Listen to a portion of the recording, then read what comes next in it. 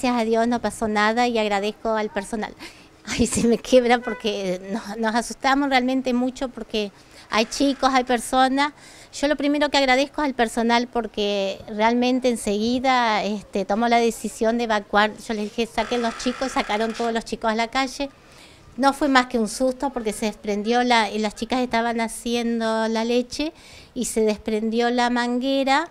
Este, cuando fuimos había fuego cerramos los tubos de gas todo enseguida y seguía saliendo fuego. Así que bueno, la cocinera corrió, evacuamos todos los chicos, llamamos los bomberos, seguían las llamas, no las podíamos pagar, llamamos los bomberos que les agradezco porque la verdad que los bomberos se portaron muy bien. Llegaron enseguida, cuando llegaron ya se, se había extinguido el fuego porque ha agarrado un plástico, porque la, cocina es nueva, así que ha agarrado un plástico de la cocina, por eso era tanto humo, pero la verdad fue nada más que un susto y vuelvo a reiterar mi agradecimiento a los bomberos voluntarios y al personal del jardín que eh, no, se, no sintió miedo, sacó los chicos en el acto y los bomberos que llegaron a tiempo.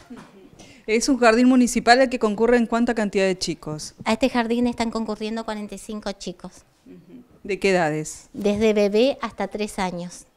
¿Y en ese momento se encontraban todos o prácticamente todos? Estaban llegando, había, ya había como 20 nenes. Y la, la, cocinera estaba haciéndole la leche para los chicos porque desayunan y almuerzan. ¿Y había docentes? ¿Cuántas docentes? Estaban todas las docentes, son 12, 12 personas, docentes, auxiliares, ordenanza, cocinera. Bueno, todas la verdad que se movilizaron, tomaron, cada una tomó los chicos y los sacaron en el acto. Generó preocupación, por supuesto, ¿no? Y susto, yo hasta ahora, porque, a ver, Creo que todos, todos adultos somos responsables de los niños, por más que no estemos en una institución, porque la sociedad es responsable del que está creciendo.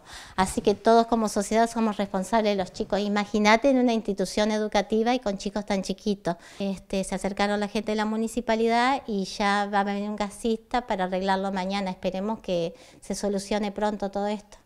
Todavía se siente igual el olor, ¿no? Se siente el olor y el susto todavía lo tengo, la verdad que sí.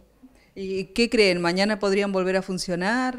Y mira, lo que se decidió, lo que yo decidí es que hasta que no estén creadas las condiciones de seguridad, los chicos no se van a recibir.